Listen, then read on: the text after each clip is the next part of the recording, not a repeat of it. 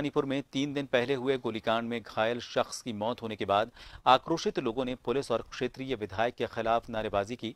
गोलीकांड में दो लोग गोली लगने से गंभीर रूप से घायल हो गए थे। जिसमें आज घायल अशोक अग्रवाल की दिल्ली में इलाज के दौरान मौत हो गई।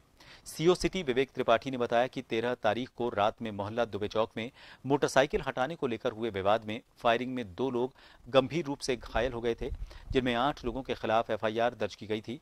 इनमें पाँच आरोपियों को गिरफ़्तार कर लिया गया, बाकी तीन लोगों को जल्द ही गिरफ़्तार कर लिया जाएगा। आरोपियों के खिलाफ कड़ी कार्रवाई की जाएगी।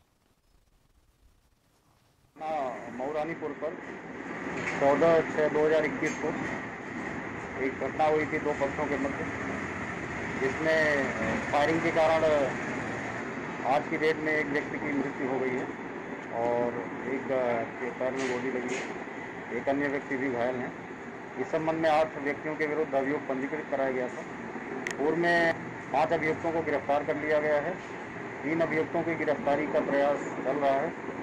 जैसा कि वरिष्ठ पुलिस अधीक्षक झांसी महोदय ने बताया है कठोर से कठोर कार्रवाई इनके खिलाफ की जाएगी। उनके सबसे छोटे भाई है जो हमारे दो बड़े भाई है अशोक अग्रवाल मुकेश अग्रवाल।